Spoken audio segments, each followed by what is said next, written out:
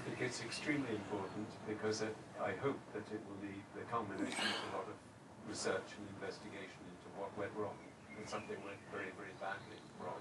And I think there will be some very uncomfortable people within both the police and in private detection services uh, with what the panel come up with. But we will have to wait and see. The independent panel, commissioned by the Home Office, has had a mammoth task. It's combed through 100,000 documents, interviewed scores of witnesses, taken eight years, cost 16 million pounds. Unsurprisingly, perhaps, its final report is 1,200 pages long. Thanks to the latest line of duty and a popular podcast, millions more people know of the Families Campaign. She'd seen the success of a podcast about police corruption surrounding the murder of a private detective, Daniel Morgan. But the family are eager for the official version.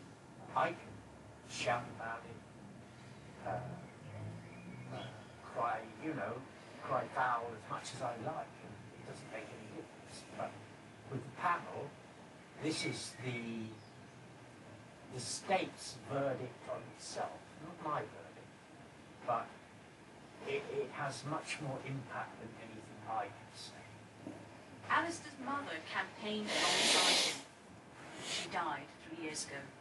She won't be here, which is a that's a kind of big gap.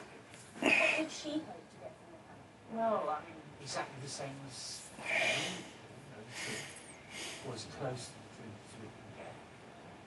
Alistair's hoping that today will show all these years of campaigning, fighting for justice, have been worthwhile. Sanchia Berg, BBC News. That's what I said. What let's see what what about it, Carol? Hello again. For many of us today, despite the early morning cloud, we're going to have a dry and a sunny day ahead.